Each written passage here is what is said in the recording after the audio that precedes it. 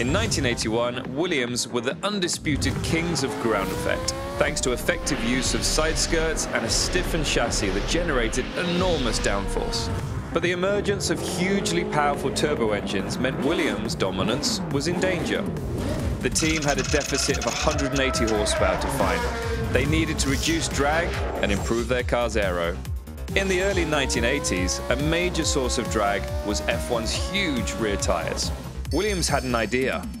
What if they replaced them with something less disruptive? What if they ditched four wheels and had six instead?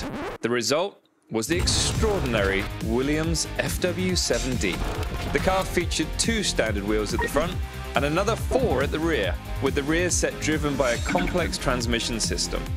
Combined with the team's sophisticated aero, simulations suggested massive drag reduction and huge speed. Thrilled, the team flew driver Alan Jones back from his win at the 1981 Las Vegas Grand Prix to test the radical new car at Donington. The results were spectacular, and a second car, the FW08B, was built for the 1982 season. But before an all-out multi-wheel war could commence, the FIA stepped in. With four-wheel drive already forbidden, cars of more than four wheels were also properly banned. But it lives on.